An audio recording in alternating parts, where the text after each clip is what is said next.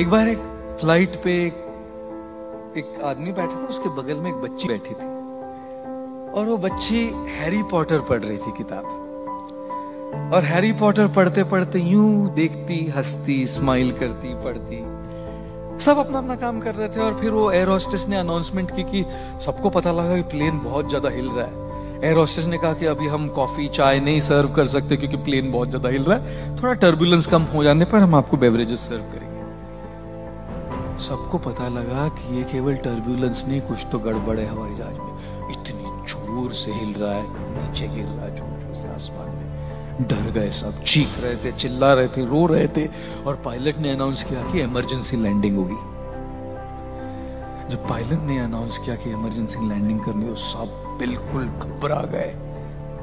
चिल्ला रहे थे, रो रहे थे पैनिक की स्टेट और ये बच्ची हैरी पॉटर अभी भी मुस्कुराते हुए हैरी पॉटर पढ़ रही थी। बड़े बड़े इंसान बड़े बड़े बिजनेसमैन लेडीज़ सब लोग चिल्ला रहे ये बच्ची बस किताब पढ़ के मुस्कुरा रही थी। फाइनली लैंडिंग हो गई। इमरजेंसी लैंडिंग किसी को कुछ नहीं हुआ छोटी छोटी खरोचे थोड़ी हुई, कुछ नहीं हुआ घर में।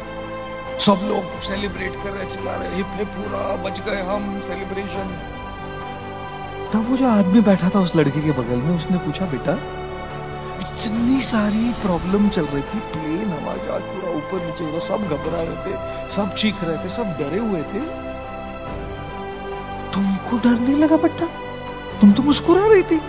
हैरी पॉटर पढ़ रही थी तुम। लड़की ने कहा, नहीं नहीं अंकल मुझे बिल्कुल डर नहीं लगा, बिल्कुल घबराहट नहीं हुई। बोले, कैसे? तो बच्चे ने कहा क्योंकि इस हवाई जहाज़, इस फ़्लाइट के पायलट मेरे पापा है। और जब हवाई जहाज़ के पायलट पापा है तो मैं क्यों चिंता करूँ लैंडिंग की?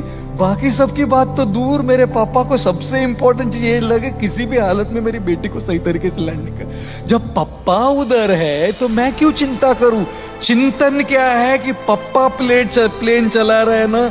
जब पप्पा प्लेन चला रहे ये चिंतन है तब फिर बच्चे को चिंता करने की क्या ज़रूरत है? है ना?